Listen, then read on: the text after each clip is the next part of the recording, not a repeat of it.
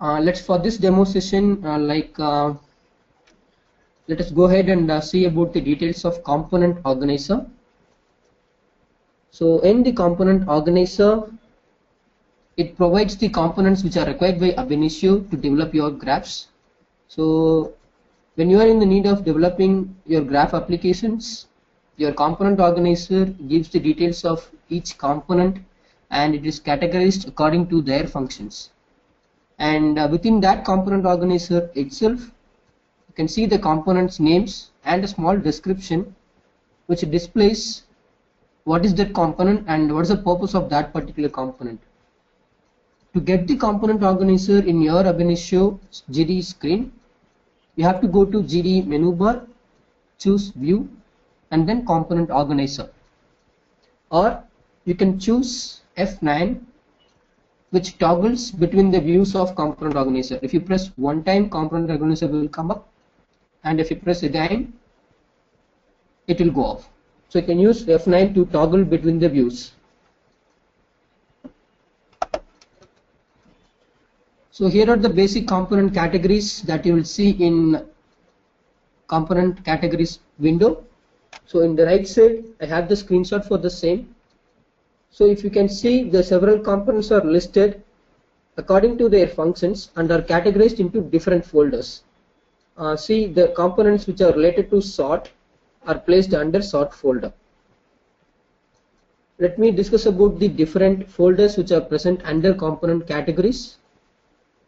Continuous components, database components, datasets, interchange components, internet metadata, miscellaneous, partitioning components, sort components, transform, translate, validate and XML.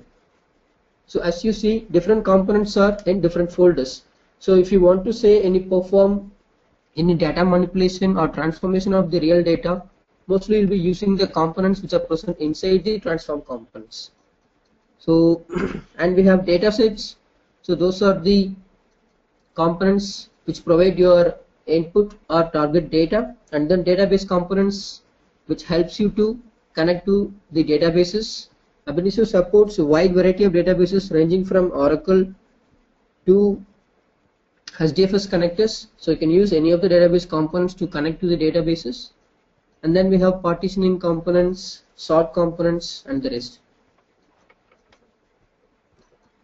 So let's see an input file component which is present under dataset. So input file component is one of the prominently used component which is present under dataset folder. So it is used to read a serial file or a multi-file in ab initio. So multi-file is nothing but having different data partitions and one control partitions I have attached the screenshot which shows the uh, input file component here. So from the view in the GD itself, we can see whether it is an input file serial or a multi-file. So if there are multiple cylindricals here, it is a multi-file. If it turns into a serial file, it will be a single cylinder. So we have to use the single input file component to read a serial file and also a multi-file there are no important parameters for it. So once we get the input file from the component organizer into our working canvas we have to specify the input file name along with its absolute path the layout which where the component is going to run and the DML which is used to describe the data which is going to be read into the input port. So once you double click the input file component you will get the properties window like this. It has different tabs, description, access, parameters and ports. So basically in the description port you will be giving the input file name along with its path and then a label to identify it. So once you have given the description, the yellow color markings in the description tab will go off. So whenever you insert a component into the GDE canvas, it will be marked with yellow colors So it specifies that there are some required parameters which still needs to be addressed. So once you finish up all the required parameters, the yellow color markings will be gone and your component is ready to use. And the most important part of specifying the input file parameters is its ports. So port is where we specify the DML which is used to which which actually used by ab initio to interpret the data which it is reading. So there are different options for ports. Either you can propagate from neighbors, you can use another port in graph, you can use a DML file which has been already created, or you can embed it directly in the component itself. So since it is the first component in a graph, so you can just embed the DML by clicking the embed option and then typing the DML in the record format box. So you can click new here and then you can type the record format DML as you would like. So suppose consider like if you have an employee file and you want to read the employee data using this input file component. So basically you will be giving the input file name along with its path in the description window. So it will be like this. So in your description window, you can just type your employee file path and then the name. So the file specification here specifies your input file is a serial file. Suppose if you are reading a multi-file, then instead of specifying file, you will be specifying M file. So after you specify file or M file, the notation in the GD view changes according to that. You can use parameters also to specify the absolute locations.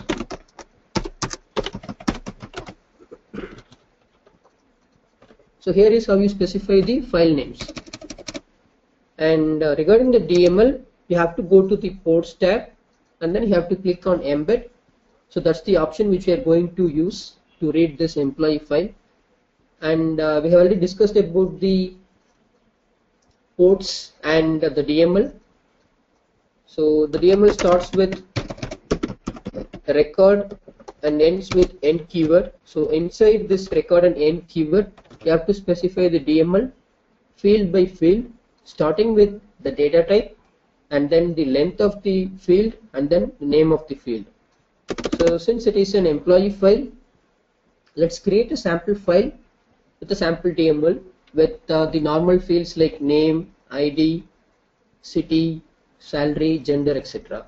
So let's start with name. So I'm giving a comma delimited delimiter. So till my first comma, it will take it as name and then I'm giving the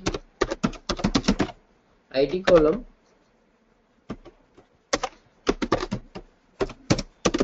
and then you have salary.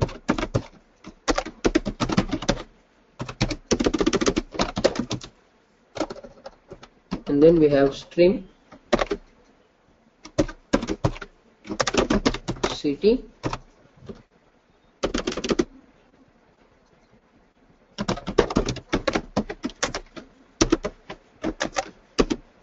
next we have the gender column followed by the new line character.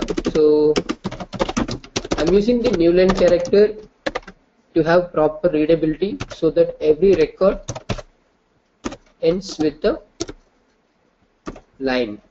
So when you are reading the file outside the GDE you can sense like every record will be in a single line. So basically you will be writing the DML how the file is created before So this is a format to give your DML. So either you can save it into a file and then you can give the file name using the use file option or you can just embed it in the component. Uh, as you start developing your graphs, you will be propagating the DMLs from the neighboring components. Since this is the first component and we don't have any other component in your graph, we will be embedding the DML inside the component. And then after this, you can propagate. And by default, Ab initio will actually have the option as propagate from neighbors. So once it starts propagating, if you want or if you want to change the components layout and the DML, you can just go ahead and edit the DML which you're trying to create. For example, like after reading from the input file, when you want to transform the data, so you will have different rec record format after that. So in that case, you can just edit that particular component and edit the DML inside it rather than propagating. So once we give this values in the DML, you can click on validate option, which is present here to check the syntax whether you have created correctly or not. So once you give the DML and file name, your input file is ready to use. So we have two modes to give the DML. Either you can type it in the text view or you can open up the grid view where you can select the available data types and then the length columns. So here you can give the field names and from for the data type you'll have a combo box and then you can select from the available list. Can give the length as a fixed length or as a delimiter to delimit the different fields. As it is a dataset component, you can view the data which is present using the Ab GDE screen. So once you have given the file name and then the DML, click on apply, OK, come out of the properties window, right click the input file component, you will get multiple options. Go to the option called view data. So this option will be present only in dataset components. So if you click on dataset, if you click on view data, you will see a screen which shows how the data is organized. You will see different columns which you have given and the data. So this view data option will be enabled only for dataset components, say like input table, input file, output table, output files. So here we can see what are the different types of data that can be described using ab initio.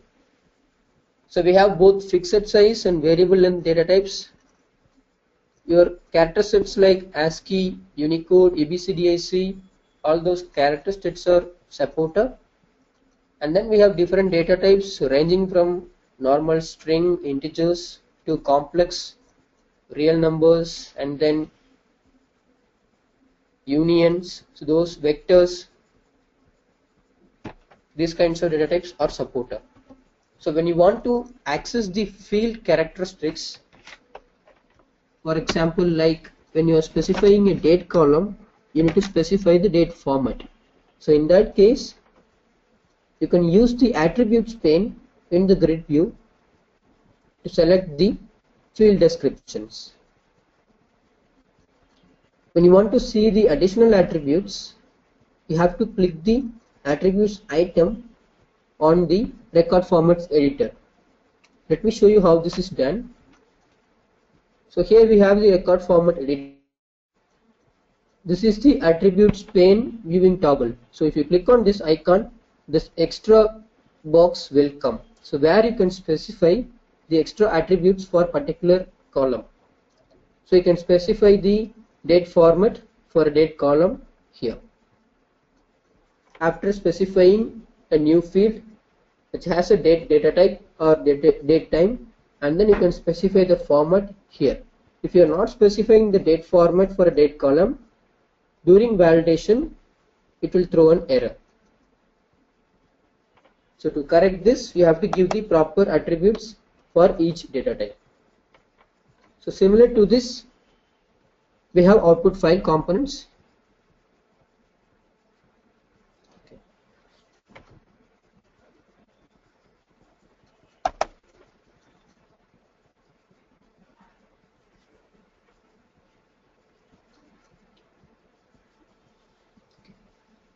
Hello. Karthikeyan? Hello. Yes. Hello, Anne. Yeah. For for demos, this is fine, right? Or we have to continue? Uh, if you need, you can. No, I, I, I guess like this is fine. If you want another demo video, I think you can. Then, then it's fine. Then it's fine, Karthikeyan. Yeah. Okay. I think for demo session, pro- pro- probably you will be giving this to other students only, right? Yeah. Okay. So uh, normally how I work is so once I get the requirement uh, like uh, what the student wants or something, I'll arrange a demo session particularly on the first day. Okay. So once the student is willing to take the session after the demo, then we will continue with the session. Mm-hmm.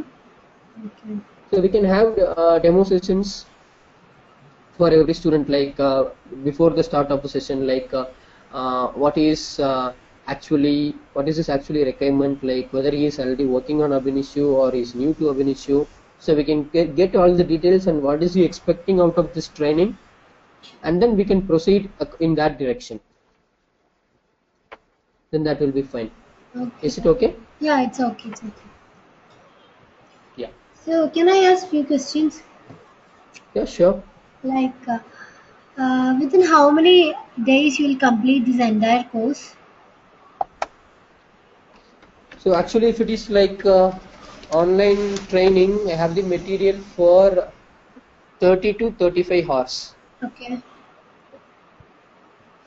And uh, in the current scenario, what I'm handling is probably we'll be having a daily one hour session or one to one and a half hour session.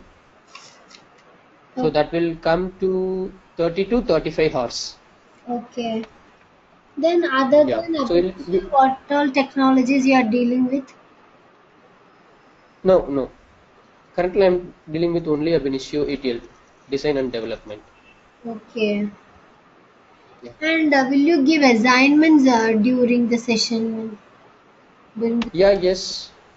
So uh, that session will proceed like we'll have one theory session and then we'll have one practical session. So whatever we have discussed on that particular day, I'll be giving case studies so the student can practice using the tool and uh, they can uh, get accustomed according to that.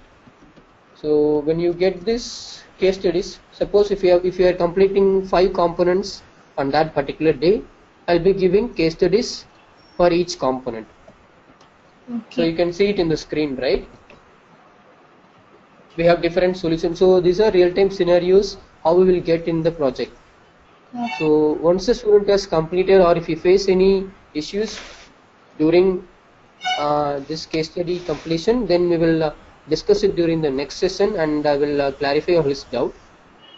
After that, we will proceed to the next session. Okay.